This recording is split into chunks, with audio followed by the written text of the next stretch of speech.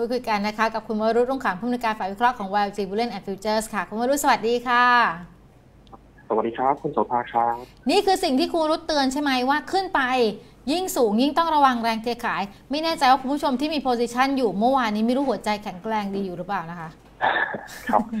ทองเมื่อวานนี้ไฮกับโลเนี่ยห่างกันประมาณ 54 เหรียญดอลลาร์ต่อฟิตออนนะครับ ถือว่าแกว่งตัวผันผวนค่อนข้างมาก แต่ต้องบอกว่าในช่วงเดือนกว่าที่ผ่านมาเนี่ยเเราเห็นพฤติกรรมทองคำในลักษณะดังกล่าวเนี่ยหลายรอบแล้วนะครับ ก็ขยับดีดตัวขึ้น แล้วก็มีการทิ้งตัวหรือแรงขายทำกำไรเนี่ยในลักษณะของการทิ้งดิ่งของราคาลงมาเลยนะครับ แต่หลาย ๆ ครั้งราคาก็ยังพยายามทรงตัวรักษาระดับเอาไว้ แล้วก็ขยับหรือดีดตัวขึ้นต่อนะครับเอ่อทางนี้เนี่ยต้องบอกว่าทองคำยังคงได้รับปัจจัยชี้นำ จากปัจจัยพื้นฐานค่อนข้างมาก ไม่ว่าจะเป็นสถานการณ์เกี่ยวกับสงครามการค้า ถ้ามีสัญญาณที่คลี่คลาย หรือว่าเจรจากันได้ ทองคำก็จะถูกขายหุ้นก็จะขึ้น ในทางตรงข้ามค่าสถานการณ์ ความตึงเครียดทางการค้ากลับมาอีกครั้งหนึ่งความวิตกกังวลต่อแนวโน้มเศรษฐกิจโลกที่ชะลอตัวลงเพิ่มสูงขึ้นออทองคำก็จะมีการรีบาวหรือมีการติดตัวขึ้นต่อนะครับออข่าวในลักษณะดังกล่าวเนี่ย ค่อนข้างมีความผันผวน แล้วก็ยากต่อการคาดการณ์ดังนั้นเนี่ยเราจึงแนะนำว่า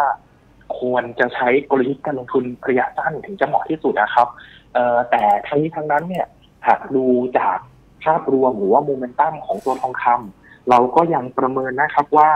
ทองคำในระยะสั้นเนี่ยยังคงให้ทิศทางหรือโมเมนตัมในในเชิงบวกอยู่ แต่ระดับบริเวณพัน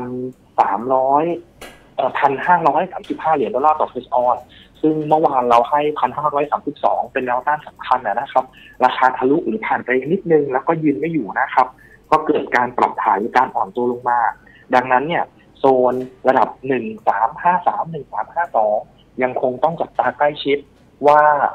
ราคาถ้าขยับขึ้นจะมี new high ในระดับดังกล่าวไหมถ้ายังไม่มี new high หรือว่าผ่านไปสักหนึ่งหรือสองสัปดาห์เนี่ยแล้วไม่มี new high เกิดขึ้นเออทองคำอาจจะมีแนวโน้มหรือโมเมนตัมเชิงบวกลดลง คนที่มีการถือครองทองคำไว้เยอะๆหรือสะสมทองคำเอาไว้มากๆก็อาจจะต้องพยายามลดการถือครองลง เพื่อเป็นลักษณะของการลดความเสี่ยง อย่างไรก็ตามครับในระยะสั้นเนี่ย ถึงแม้ว่าตัวประธานาธิบดีโดูนัลด์ทรัมป์จะมีการ ยืดอายุในส่วนของการจัดเก็บภาษีออกไปเป็นวันที่ 15 ธันวาคม ต่อสินค้าบางประเภท แล้วก็ยังมีการออกมายืนยันว่าจะมีการเจรจากันอีกครั้งหนึ่งในเดือนกันยายน หรือประมาณอีกสองอาทิตย์ถัดไป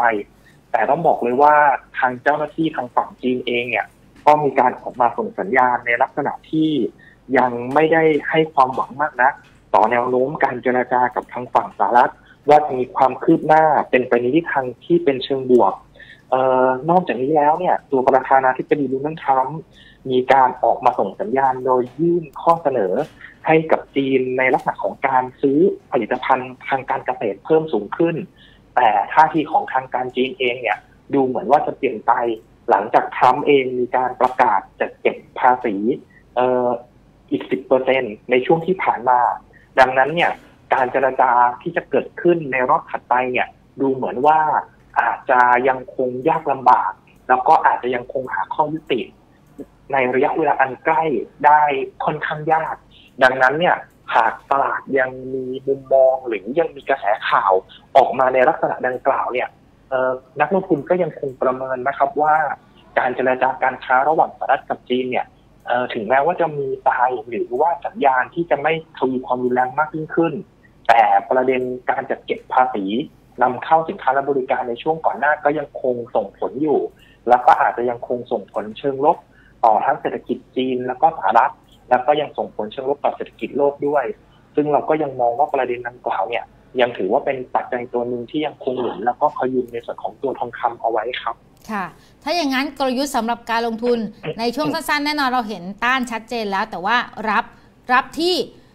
หลุดเราเห็นการหลุดพันห้าหลุดง่าย ๆ มากเลยนะคะ หลุดพอหลุดง่ายๆปุ๊บเนี่ยสิ่งที่เราต้องทำต่อสำหรับสำหรับทองคำแนวรับของเราจะอยู่ตรงไหนคะในในส่วนของแนวรับนะครับ เรา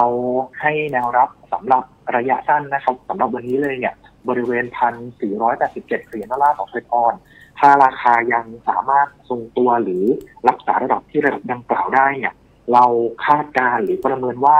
ราคาน่าจะมีการ rebound หรือดีดตัวขึ้นทดสอบแนวต้านบริเวณพันห้าร้อยสิบเอ็ดถึงพันห้าร้อยยี่สิบสี่เหรียญดอลลาร์ต่อทรอยออนซ์นะครับ แต่ถ้าเกิดยืนเหนือระดับพันสี่ร้อยสิบเจ็ดไม่อยู่จริง ๆ เนี่ย ให้ดูที่ระดับต่ำสุดของเมื่อคืนนี้ ก็คือบริเวณพันสี่ร้อยเจ็ดสิบเก้าเหรียญดอลลาร์ต่อทรอยออนซ์ ถ้าหลุดแนวโน้มหรือโมเมนตัมของทองคำ เชิงบวกในระยะสั้นอาจจะเสียไป ก็อาจจะเห็นการปรับฐานหรือการออกตัวลงต่อ แต่ว่าถ้าไม่หลุดเนี่ยเราก็ยังประเมินว่าแนวโน้มหรือโมเมนตัมของตัวทองคำในระยะสั้นเนี่ยก็ยังมีโอกาสขยับขึ้น แล้วก็มีโอกาสที่จะ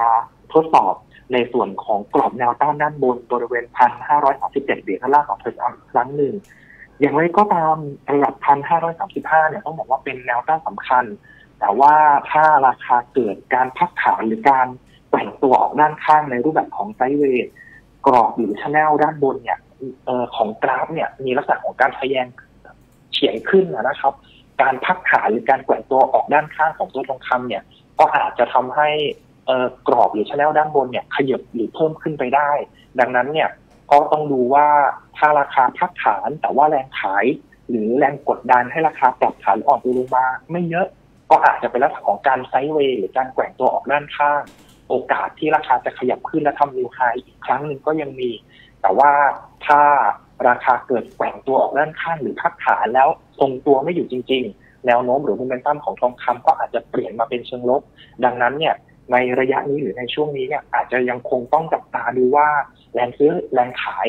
รวมทั้งในส่วนของปัจจัยพื้นฐานที่กลับเข้ามาส่งผลกับการเคลื่อนไหวของทองคำเนี่ย จะมีพัฒนาการหรือมีทิศทางเป็นอย่างไร